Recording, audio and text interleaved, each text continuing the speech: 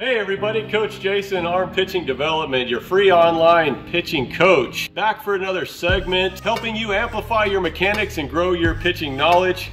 You'll do this by hitting the subscribe button so you don't miss out on future pitching tips, drills, exercises, and workouts. So tonight uh, I'm giving you guys a throwing progression for accuracy that we're doing inside of the program. I thought it'd be nice to share with you guys. So let's get into it. Okay, so the first thing that we're going into is an front-facing offset rotational throw. One thing of note, when we're going into throwing progression, we're trying to warm up the arm and prepare to take the mound. And so I want your focus, your intent, your concentration on leading into the mound on where your target is with your partner or whatever you're throwing into for that moment. Going into front facing offset rotational throw. What I do is slightly offset outside of my hip width here. And as a right-handed thrower, my front foot, my left foot is about a foot distance in separation between the two. The idea or point of this is to feel a little bit more on the external hip as I'm rotating back and leading out with that hip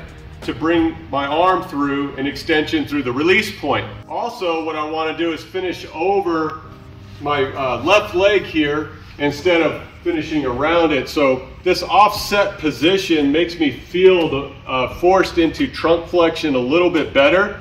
So this is why I like this drill, especially as an opener. Good athletic stance, just set uh, hand position, work back into rotation, back up into throw. All right, we'll do one more demonstration and throw through your target. Okay, number two on our throwing progressions uh, for accuracy starting to get on the mound is our rocker throw.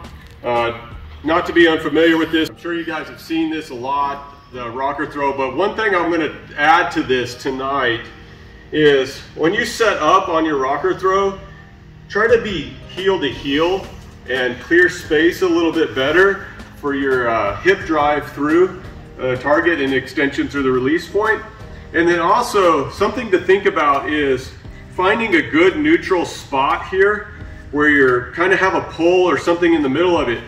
And what I've been telling the guys is try to uh, try to be on the back side of your vertical pull as you're going through this movement.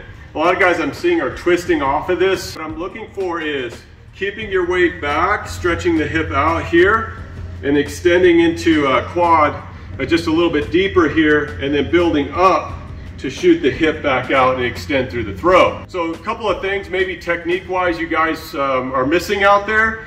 Open up just a little bit, keep the left shoulder in, staying back, stay back, build up, and shoot through. One more for demonstration, heel to heel. Slightly open toe, neutral set, left shoulder closed, back, back, shoot.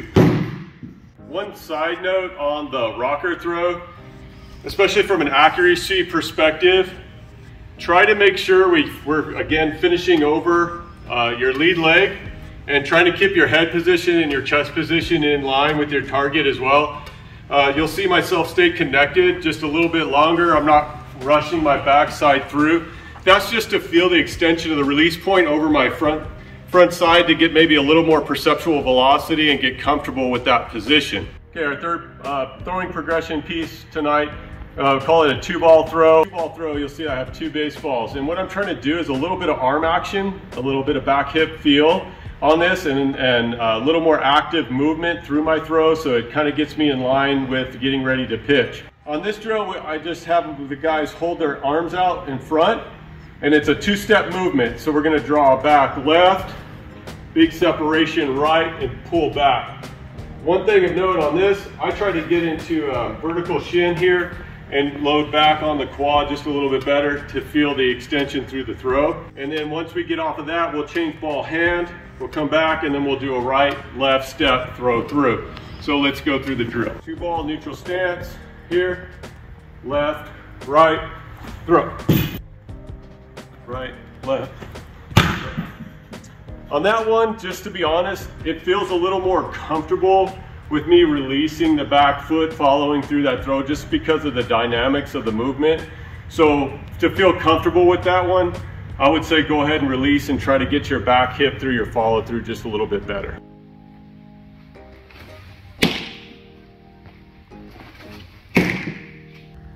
Okay, our last and final, our fourth throwing progression on this series is going to be a hybrid walkthrough throw. So this comes through where we're trying to get into our hip just a little bit as we're walking through it. And then we're gonna build up into our load, which is gonna force, you're gonna feel a little bit of energy wanting to take you forward with that, which is kind of nice. So when, when we're pitching, we're feeling the, the weight distribution going forward. This drill kind of helps with that. When I'm rocking into it, I feel balanced up and I feel that, that connection of my energy driving forward. So this is why I kind of like this drill leading into taking the mound through our bullpen. So we'll just set it up, inward draw, load up, and then finish it through.